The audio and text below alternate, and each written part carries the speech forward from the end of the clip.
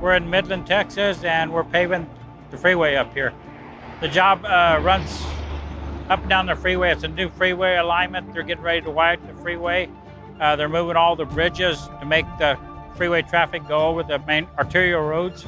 So we're the first job of many up in this area.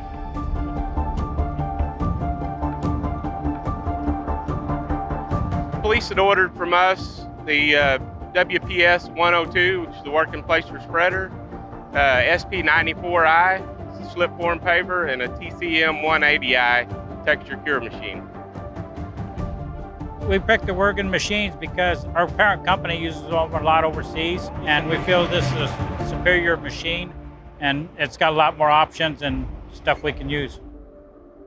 I mean, it's pretty exciting just to know that we have new toys and we're ready to, to, to go ahead and start working, show off what we, what we can do.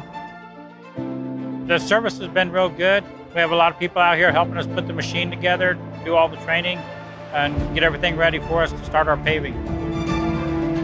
On the beginning was kind of hard to learn how to uh, like you know like operator, all the controls and everything, but but now I feel kind of comfortable now uh, driving this machine.